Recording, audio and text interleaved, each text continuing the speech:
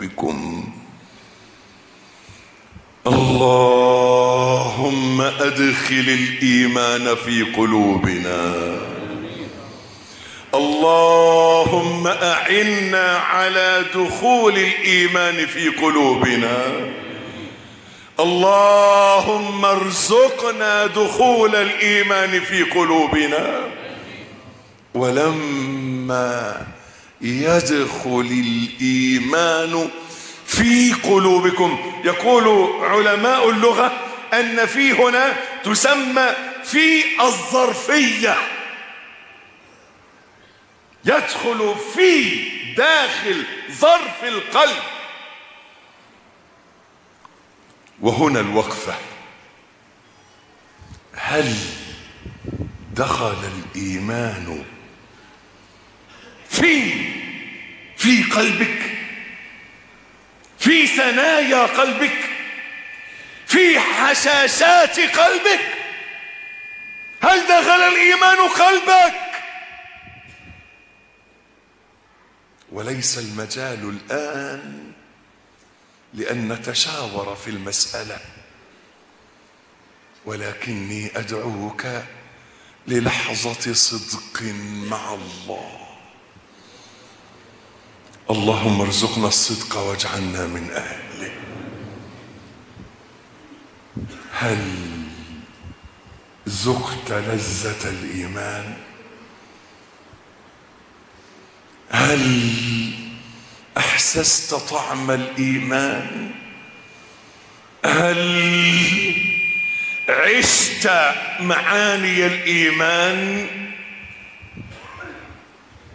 أم أنك ما زلت في أعمال الإسلام.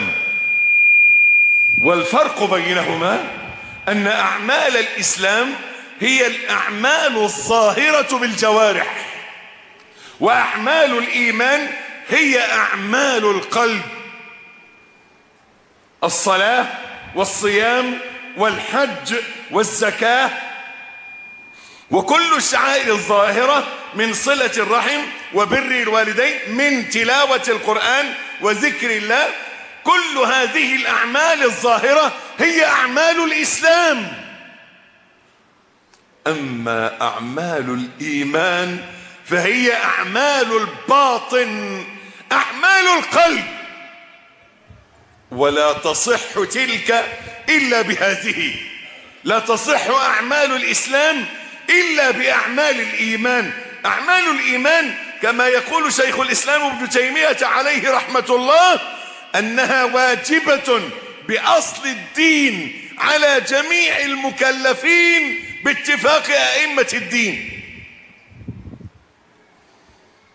أعمال الإيمان التي هي حب الله. الحب والخوف والرجاء والتوكل واليقين والرضا والإنابة والمحبة والإخبات والخشية. هذه المعاني التي هي من أعمال القلب وليست من أعمال الجوارح. بمعنى أنك تصلي تقف فتركع وتسجد وتقوم وتجلس وت... وتقرأ وتسبح. ولكن هل تصلي رغبة ورهبة؟ هذه هي. هل تركع بال... تقوم بالقنوت وتركع بالتعظيم وتسجد بالذل؟ هذه هي المعاني القلبية التي تصح بها الصلاة وفيها دليل حديث النبي صلى الله عليه وعلى آله وصحبه وسلم ليس للمرء من صلاته إلا ما عقل منها. حضور القلب في معانيه. إخوتي الإيمان. وما أدراك ما الإيمان وأعماله. ولذلك لطالب الجنة أقول يا من تريد الجنة زعمت أين قلبك؟ أين أعمالك القلبية؟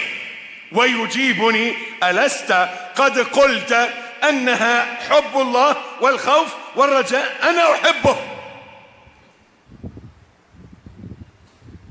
في زمن الخداع والكذب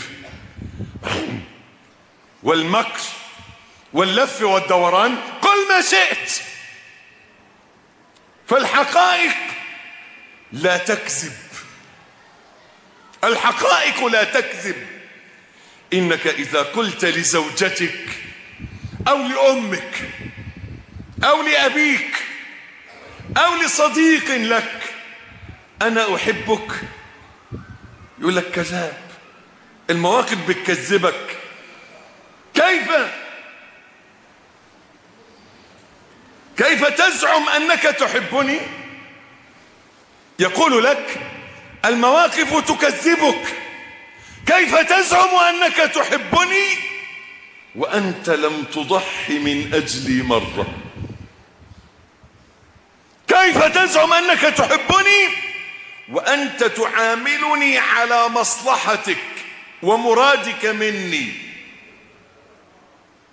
كيف تزعم أنك تحبني؟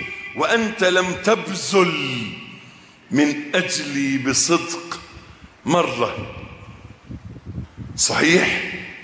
فكيف تزعم محبة الله وأنت تسارع في شهواتك وتتابع أهواءك وتنسى الله؟ اللهم ذكرنا بك فلا ننساك. لذا القضية هنا أن نتعلم علم الإيمان. أن نتعلم علم الإيمان. قال جندب بن جنادة عليه رحمة الله.